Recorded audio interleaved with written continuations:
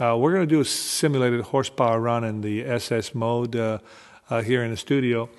And um, couple of things you want to know about, uh, you, want to make sure you do correctly in the horsepower and torque pull is that uh, uh, this particular measurement is very different than your acceleration run. And it's important to keep that in mind because you want to be very smooth. The, the key to consistent horsepower and torque measurements is actually uh, being smooth and making sure that you're applying full throttle throughout the entire RPM range.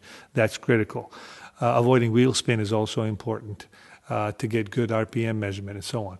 So um, when you're in a safe environment, you're driving along in a second gear, uh, you hold it at close to 2,000 RPM, and then you uh, push the horsepower and torque measurement, and it'll uh, it'll um, display this uh, graph to tell you to hold at 2,000 RPM. When you're at uh, 2,000 RPM, you will simply push the button. You, you take your time to adjust to make sure that you're at 2,000 RPM. When you are, you push the button, and it'll it'll start uh, start the measurement. You apply the throttle slowly. Take about a couple of seconds. Especially some of these powerful cars, they'll start wheel spinning in second gear, and it's important to apply the throttle slowly, and then after a couple of seconds, hold it at full throttle all the way to red line. And then once you reach the red line, you can ease off and the G-TECH will stop the measurement like it did just now. Once that's done, you'll get the horsepower and torque in most important uh, numbers, which are the peak horsepower and peak torque at, at, what RPM level, and that's shown on this result screen here. If we want to go in deeper and look at the actual dyno plot, we will go in here and look at the graph.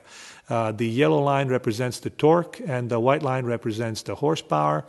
Uh, the blue crosses represent the peak numbers. You can take the cursor here and look at the numbers as you go along. Uh, there's your peak horsepower, uh, peak torque of 154.3 foot-pounds. And if you go down here, there's your peak horsepower of uh, 151.9 horsepower. You will also notice that the uh, horsepower and torque curves cross at 52, 5250 RPM.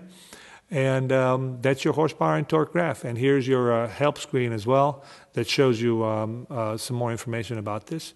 And there's your uh, dyno plot. It beats uh, going to a chassis dyno every time and spending a couple hundred bucks each time you go there.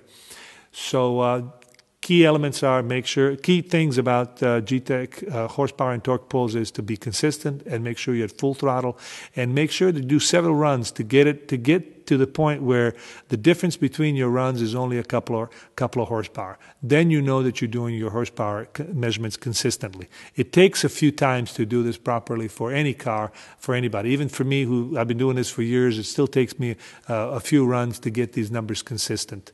So uh, make sure you average your results and be consistent and be smooth in the measurements of horsepower and torque.